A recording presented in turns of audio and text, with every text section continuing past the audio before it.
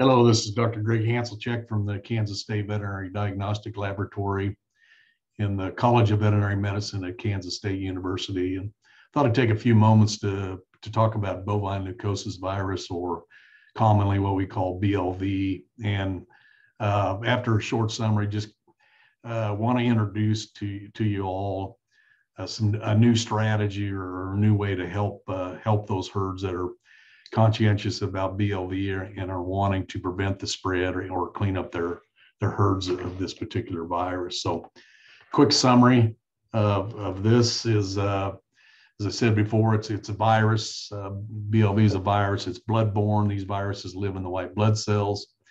The way that uh, animals become infected is is movement from a positive animal to a negative, and that can be through needles, tattoos, uh, palpation sleeves, uh, uh, blood on ultrasound probes. Uh, dams can pass it to their calves before birth. Uh, can also be passed in the milk and colostrum. And then horse flies, stable flies, deer flies are all thought to have the ability to, to pass this virus from animal to animal. Once an animal becomes infected, which can be at any age, they have a lifelong infection. The clinical signs are, are varied. Uh, ADR, which in veterinary medicine just means ain't doing right with just these are these are individual cows that are just thinner than everybody else. They're, they're low production. There really isn't any any uh, obvious reason why why they present like that but uh, that's pretty common. Tumors this is a, a virus that produces tumors in uh, multiple multiple different organs in cattle uh, and older animals. Uh, sometimes the, the tumor likes to to actually localize in the in the spinal column, and therefore we have animals that that can't get up or can't stand or can't walk very well. And then uh, the, the, this virus also causes uh, ulcers in the abomasum, so we can have we can have black tarry looking stool. Uh, the thing about this is that it's estimated that less less than five percent of all the infected animals ever become clinical, and so uh, even though there is a lot of BLV out there in herds, uh, it's not all that common to to find the the clinical animals. But that being said, study that looked at uh, the reasons why cold dairy and beef cows were were condemned after they passed the pre-slaughter uh, examination and made it into the packing plant. Uh, BLV or the tumors were the number one reason why uh, dairy cows and the number two reason why adult beef cows were condemned in the slaughter plants after after they were uh, admitted and, and uh, hanging on the rail. These are some examples of the clinical signs. Again, ADR, uh, just a cow, thin cow. Wonder there could be lots of reasons for this, but they're just thinner. There's there's no milk production. One of the places where the tumor likes to localize is behind the eye. So uh, one eye, it, the tumor may push one eye out of the globe, so it it looks like a, one-sided frog eye kind of. Uh, it can present as as tumors under the skin and then these lymphoid chains here. Uh, but again, it it causes tumors in lots and lots of different different organs. Uh, here's some uh, tumors in the heart. This is uh, tissue in the abdomen around the reproductive organs. These white, yellow things are all all BLV tumors and then the, the white spots on this kidney are also tumors. So again, can present its, its uh, itself in multiple ways. This is a map of Kansas uh, over the last few years to show where uh, positive samples have come into our laboratory. It doesn't it doesn't say that there's negative counties out here. We just haven't received uh, samples from there. And I, and I would say that uh, our uh, diagnosticians in, in KSVDL and, and, veterinarians around the state would would say that BLV's in every single county. Uh, it's it's uh, it's there's a lot of BLV in our cow calf herds at the present time. So there's some management uh, strategies out there, and number one is what I call the must-do management if we're going to control this disease, and that and that's prevent blood movement.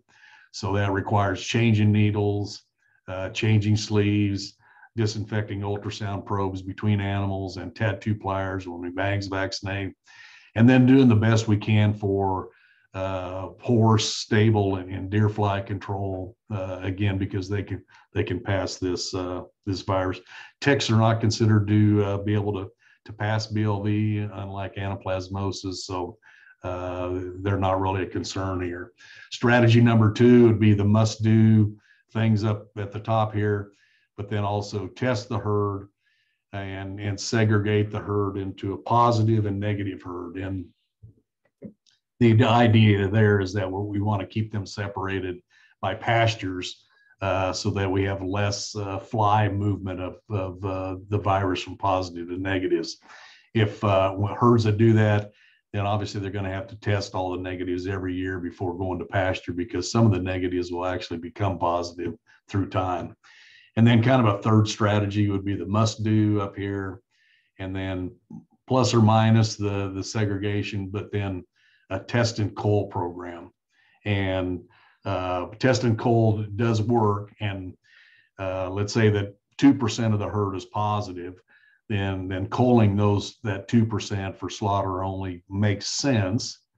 Uh, but let's say there's 30, 40, 60% are positive in the herd, which we see a lot of that economically it doesn't make sense to send all those cows to slaughter and start over. So uh, there's some things that can be done when we talk about test and cull and, and some research uh, completed up at Michigan State uh, University suggests that uh, not all the positive animals that are in the herd are putting other animals at risk of becoming infected.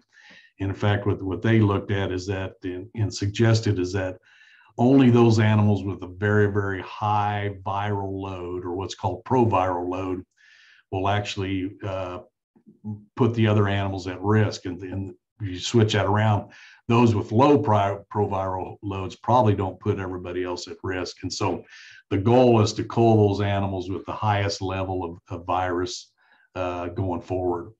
And, and how do we do that? So, uh, well, it'd be, it's a blood test, a purple top tube, and it's a PCR.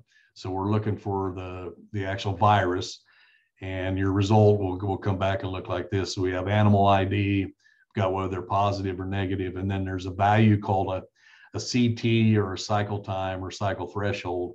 And the the lower the number on the CT, the more virus there is in the animal. And so by choosing those animals with the with the lowest number uh, here, we can we can move those animals out of the herd because they have the the highest proviral load. And, and basically this is the way this looks, this is the way it looks. So here's your CT.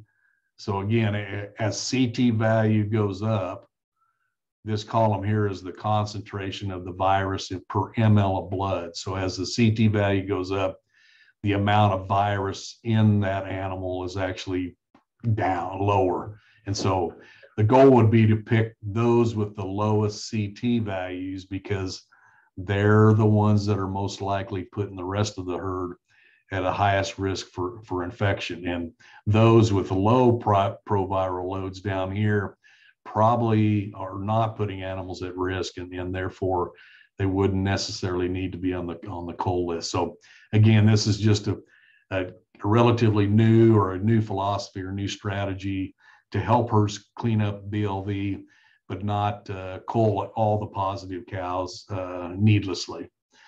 Uh, appreciate the opportunity to talk about BLV and then this new strategy. If you have any questions, please uh, email me at that email address or call KSVDL client care at 866 512 5650. Thank you very much.